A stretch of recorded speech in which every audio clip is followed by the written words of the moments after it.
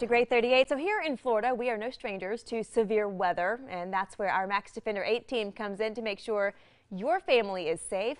But sometimes they can use an extra set of eyes. So Amanda's here now to show us how you can help track those storms and help our team forecast them. What's this about? Yeah, so the National Weather Service puts on this class a few times a year, and you can become a certified storm spotter. We call them Skywarn storm spotters, and you guys are really helpful for us to have ground truth to these storms when they develop, whether that be a thunderstorm, maybe it's a tornado, or just hail falling out of the sky. We get that ground truth so that we can relay that information out to everyone else. So the class is happening tonight. It's the first of several that the National Weather Service will hold throughout the year. It's a free one hour session and you become a certified Skywarn storm spotter. It is a webinar that starts at 7 o'clock tonight.